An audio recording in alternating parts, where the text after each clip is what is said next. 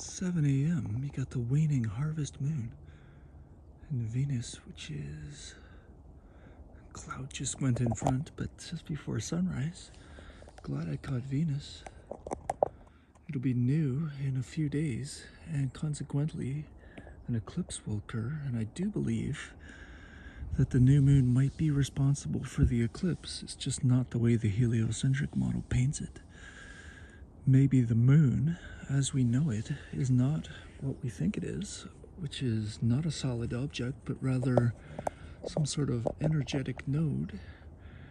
And once a year or so, it merges with the sun exactly. Interestingly enough, it's just past the equinox. Maybe that has something to do with it. I'm not sure. But look at these colors this morning.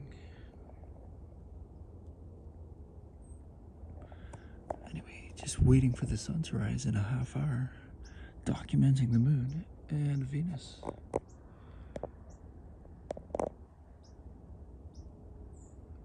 Not far away Venus, close Venus, close moon.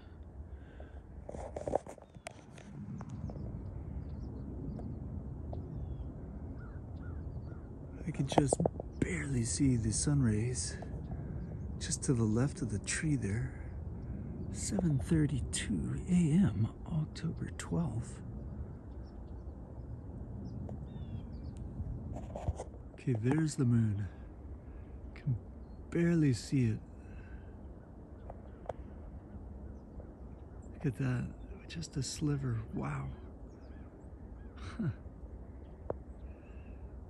I almost lost it for a second there, but I do see it. And it is definitely north of the equator, judging on where it is in the sky. Not by much, but it is. And pretty soon it's going to be impossible to see with the sunrise. How about that? For a sliver of a moon, two and a half hours after moonrise. Wow barely see it. I knew where to look.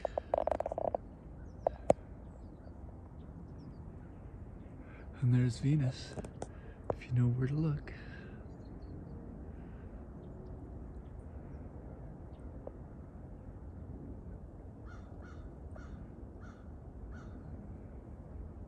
The moon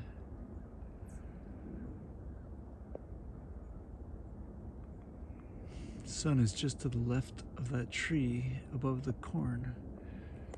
I'm just going to enjoy this sunrise with the moon.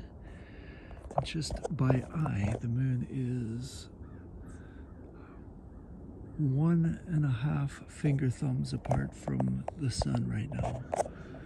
So one, no, it's one and one knuckle. And that's by eye, not by camera. So it didn't look like that on camera, but to the first knuckle there, and one.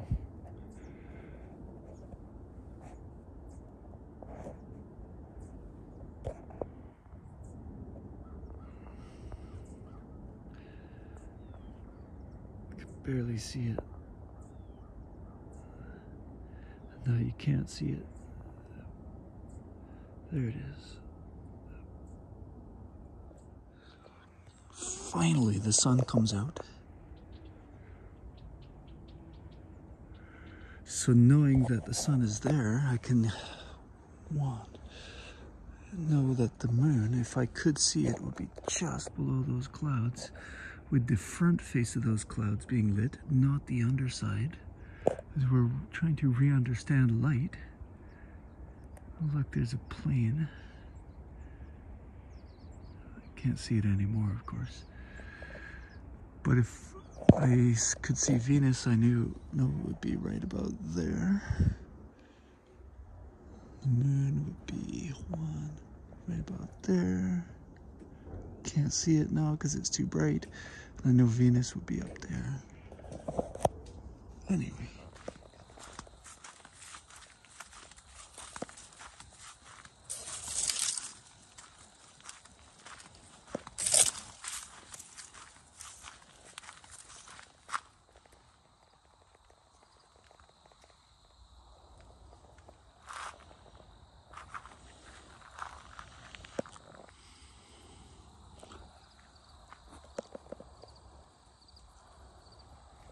Just about 7 p.m., just up on Mr. Bazinga's trailer. Missed the sunset. Took the Sonoma out for a drive. It's running really well. If I could see the sun, it would have set right about there. October 12th, 2023. I'm still above 10 foot corn. Hasn't been harvest, harvested yet, but it will be in the next month. Still a month, and it doesn't uh, matter even if it freezes. It can still be harvested. Of course, it confuses me, but it's cattle corn, and apparently it doesn't matter. I guess so much for the cattle. So the moon right now, as I saw this morning, is still ahead of the sun, and it will rise at about 5:45 this morning, coming up, and just before sunrise, hoping to catch it. And when it does rise, it will be just around the equator. Of course, when it becomes officially new, on the 14th, it'll be right with the sun, and ironically, there will be a solar eclipse, which leads me to believe that perhaps it is actually this the moon causing the solar eclipse, but it's obviously not what they tell us.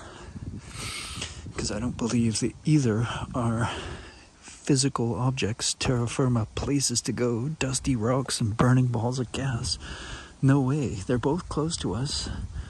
We don't know what they are. It could be energetic nodes of some sort, projections, holograms. It's all debatable at this point. But what I was interested in was studying the path of this eclipse path and how it relates to both the shape of our Earth and what's going on above us. So I'll try to do so with that graphic included. Goodness me, I caught the moon. There it is.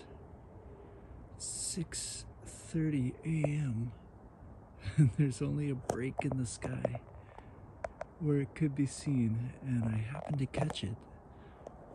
It's about 6:30 October 13th now. And there it is, only for a few split seconds and I feel very lucky to see it. That's the the waning harvest moon. 6:30 a.m. October 13th, 2023. Only visible for a few moments. I knew where to look. It's right around the equator, just south of it, because that's where the sun will be rising too. In fact, the sun will rise just a little bit to the right of that. You can see the outline of the moon too. Isn't that awesome though? When you know where to look. Amazing.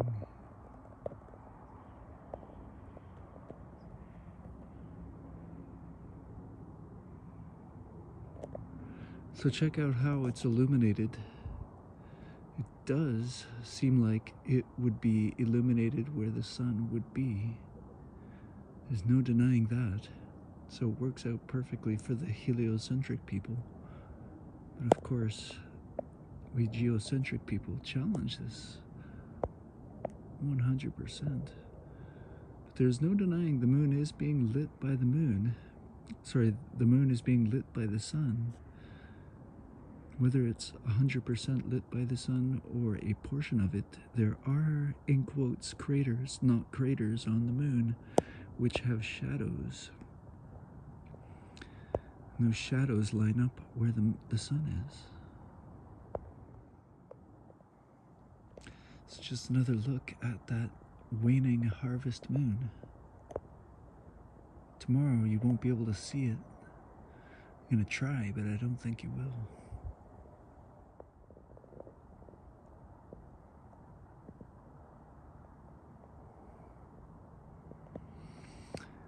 Only a sliver of the moon is visible and it's I'm standing so that I can view it above 10 foot corn so I'm not going to bother pulling out my Nikon It just won't be stable enough. Isn't that awesome though? Pre sunrise. Another half hour till sunrise. I'm going to try to capture it tomorrow morning as well.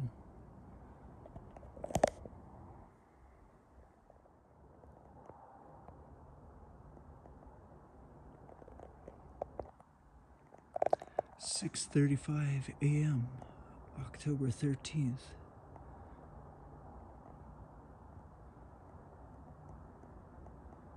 It's the waning harvest moon, about 3%. Well, maybe about more like 5%. I'd have to check. You're very rare, very rare to see that. You have to know where to look, and you have to get lucky with the weather.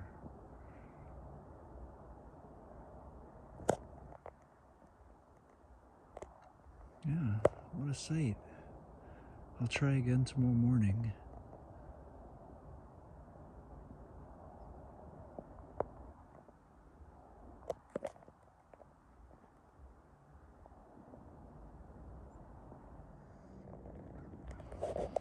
How about that for some morning colors?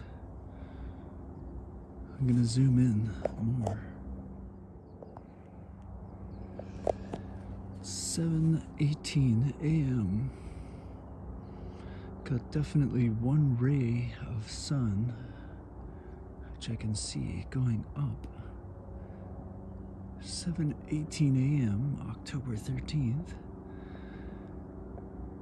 If I could see the moon, it would be right about there. But of course I can't because of the clouds. There's Venus. Sorry, I'm gonna pull back. There's Venus.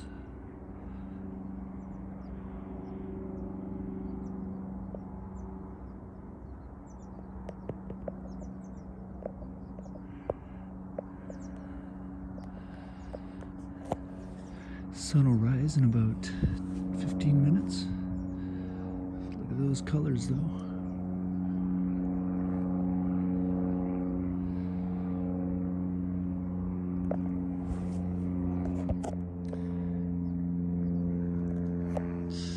Saw the moon this morning, and it, I'll have to recheck where I saw it, but I do believe it was right around that area. I'll have to recheck on my videos. So if the sun is rising there and the moon rose there, tomorrow morning's moon will rise right there with the moon, with the sun. It's supposed to rise at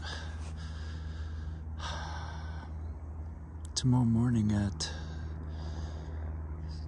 7.15 i think it is. It's about 15 minutes before the sunrise. I'd have to check that. I'll check it in a bit. But i don't think i'll be able to catch tomorrow morning's moonrise because this morning it was supposed to be at 2% that's i think it's more like 5% it's supposed to be an eclipse tomorrow solar eclipse. We'll have to determine whether or not I can see anything unusual with the moon and the sun. Solar eclipse, you need a new moon, which would coincide nicely with the heliocentric model, but of course, I don't think the moon is a dusty rock. At all. And I don't think the sun is a burning ball of gas at the distances that they tell us. So, what's causing the eclipse? Could in fact be the moon, but it's not what they tell us. Anyway, I'll try to document the moon tomorrow morning at moonrise and sunrise. And then get ready for tomorrow's eclipse. There's the first glimpse of the sun. Okay, so it's just to the left of the big tree. And if I could see this, the moon.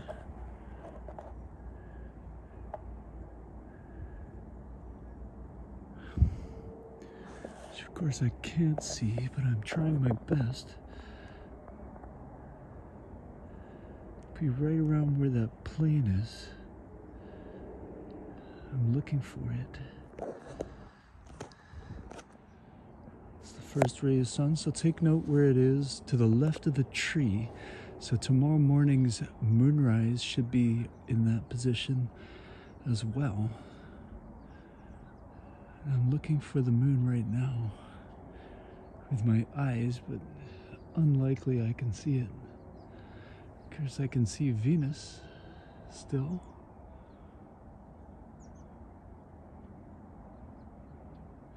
Cannot see the moon though. Spectacular that I caught the moon. Actually, come to think about it, if I could see the moon, it would be right around. Since it rose there, it would be around there right now. Can't see it though. I'm looking though.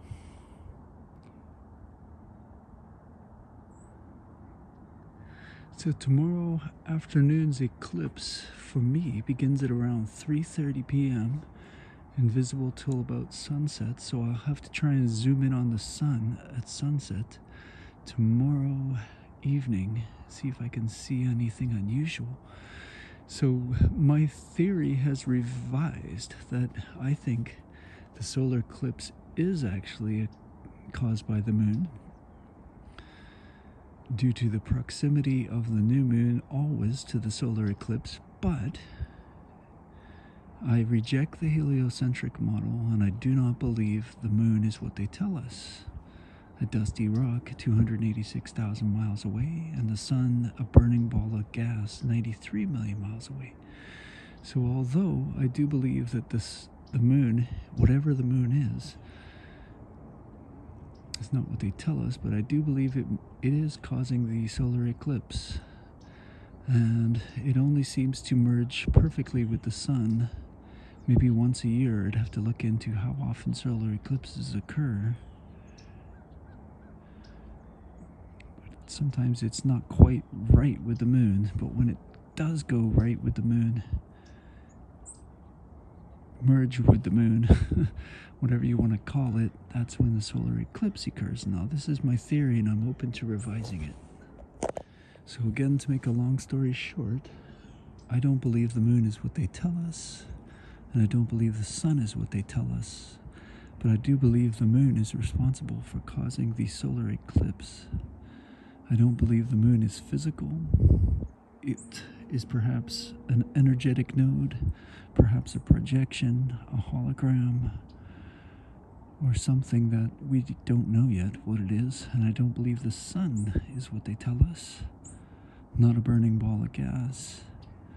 It's something else. It could be a projection itself, could be a hologram, could be something energetic. Sun is responsible for a lot of things on Earth, like heat, apparently, life, probably a lot more, like who knows, maybe even consciousness. It's electromagnetic, possibly. Moon, possibly magnetic, sun, electric. At this point, it's just all guesswork, intuitive guesswork, observation, hypothesis. Blue jay up there hanging out, waiting for me to go away so he can eat in peace. And I'll go back inside, but I just want to film the moon and the sun. Venus is still up there, I can still see it